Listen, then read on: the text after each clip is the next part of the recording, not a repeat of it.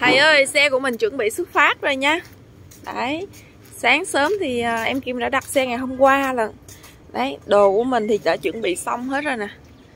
Đây, rồi xe tới nơi rồi, giờ chuẩn bị năng lên nhé.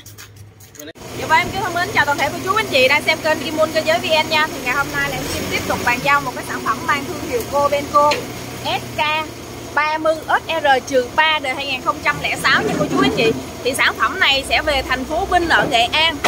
Dạ vâng, máy nhà em đã lên à, xe thùng rồi nhá. Thì hiện tại là ngày à, 10 tháng 9 năm 2023 em Kim tiếp tục bàn giao một cái sản phẩm à, Cobenco SK30 SR-3 đã được em Kim bảo dưỡng tổng thể như thế này ha.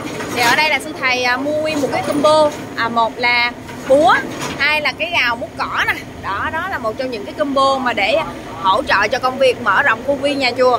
Đấy, thì anh em nào có gì chú bác nào mà đang quan tâm tới những sản phẩm như thế này thì vui lòng liên hệ trực tiếp cho em Kim. Vào số 0966 340640 và đây là những cái giây phút mà cô chú nên tham khảo là những cái sản phẩm mà em Kim bảo dưỡng tổng thể thì nó sẽ được như thế này nha. Đấy. Đây là đã được em Kim bảo dưỡng nè, chi tiết nè thể nè sơn sắc nét nè. Đấy là cái này là sắc luôn đấy. máy chạy cho nó nó im ru luôn ha.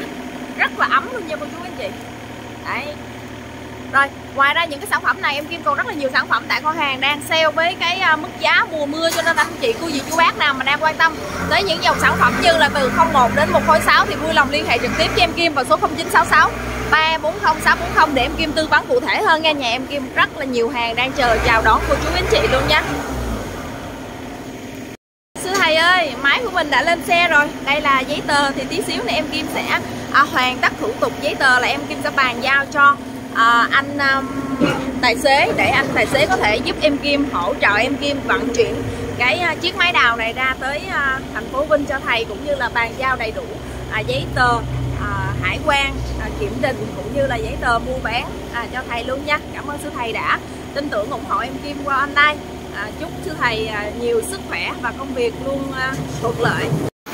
Rồi nhà mình à, chuẩn bị rồi ha. Chuẩn bị à, xuất xuất xưởng.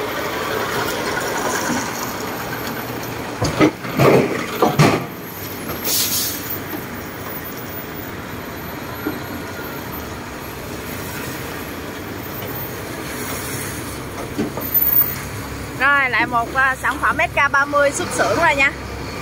Đấy. Nghệ An chào đón em đó nha. Bây giờ xuất xưởng rồi ngày mốt sẽ tới Nghệ An.